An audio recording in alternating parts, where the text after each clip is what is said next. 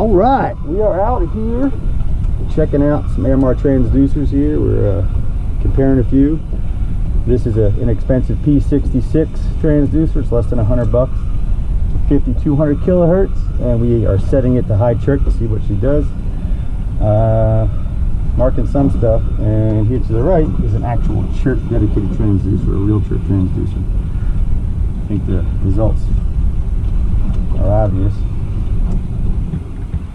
what a lot of people are doing is they're buying these high expensive top of the line units that have chirp processors built in them and then the guy at the store tells them that $80 transducer oh yeah you can chirp it no problem use it with chirp. You can but you're only going to get a handful of frequencies out of it. If you want the real spectrum of up to 100 frequencies you have to use a chirp transducer. P66 this is a traditional single frequency transducer. And think I need to say much more than just show you that. These dashes right there, just ignore them. We're running two transducers right next to each other so we can get an even competition here. That's why they're interfering. But I don't want to put any interference filters on because it'll squash our return something awful. We're just drifting here. These are striped bass, probably in the uh, 5 to 10 pound range, maybe a hair smaller. All right, another question that's pretty popular is why do my arches look straight and flat? They don't look like arches, they look like worms. Whenever you stop your boat, this is where we were stopped. Everything looks like it's a long worm. It's because we were continually marking that fish over and over again because we weren't moving. We're going about three miles an hour now and you can see the difference. Now we got our arches. That's the beam going up the back of the fish and down the other side. Or up and down the air bladder. Just stop it now the P66. I mean, it, it, showed it when we were stopped, but as soon as we started moving, everything turned to this versus that. Got more of the same here. Same P66 set on high chirp. This is a 275 high-low chirp transducer. It's worth it to get a chirp transducer. You don't have to get a $2,000 transducer. They make some really good ones for about 275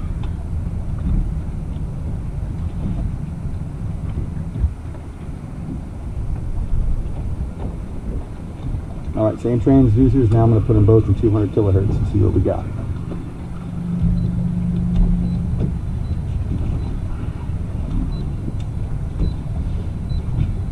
That screen's to with all that power. There's a something coming up to take a look. Remember to ignore these dashes. I don't want to put any interference filters on, so that's why those dashes are there. We're using two transducers, that's why.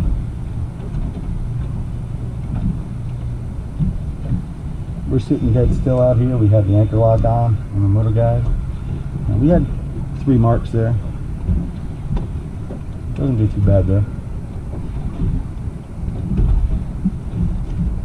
Didn't show those fish at all.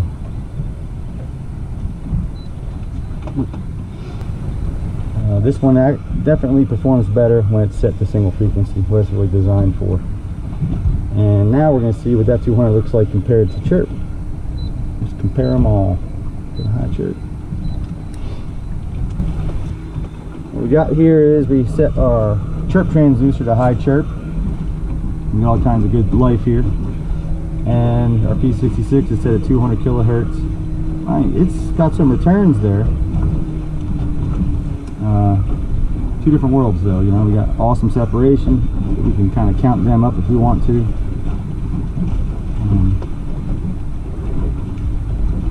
if you have a single frequency transducer like the 200 slash 50 or 83 slash 200, I would leave them in those single frequencies. That's where they're meant to work you know that's where the quality is and they definitely perform their best when you use them the way they're meant to be used. I would use them in single frequency. Setting the chirp doesn't do anything really that I see. Uh, I think it hinders the performance really. You know? this mark here is just above 70 feet 70 feet and look there's nothing there. It completely missed that mark. That's probably the best mark in, on the screen right there. Yes sir. You see our uh, thermocline setting up already See that? Solid band.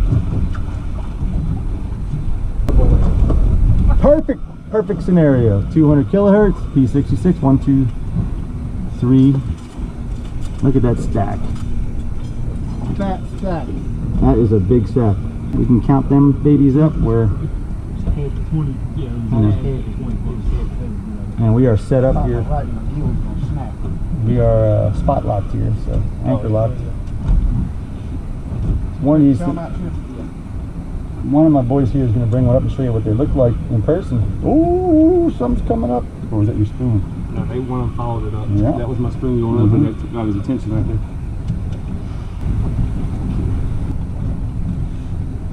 All right, couple fish hanging here. We're staying still. Uh, fish came up and looked at the bait and went down. The only reason I know he came up is because on the chirp side I saw him come up. But I didn't see it here on a single 200 kilohertz.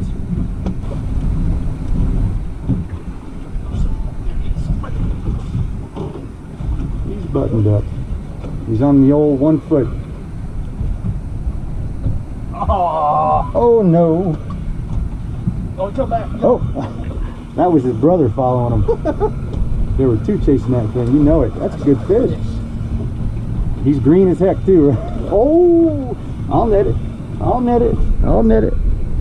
She gonna take a second. You just, you just hooked her here, man. missed it. Come back and got it. I mean,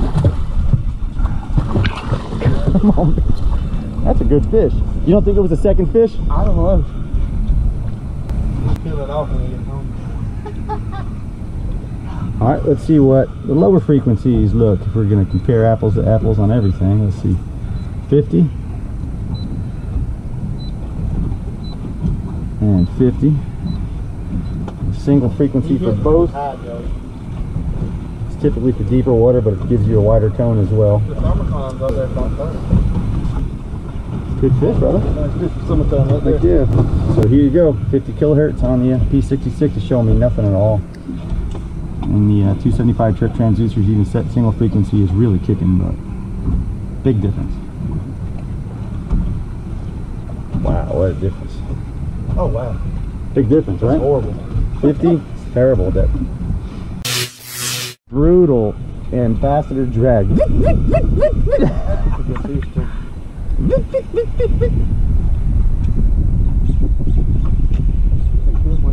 is a good one. Yeah, that's a good one.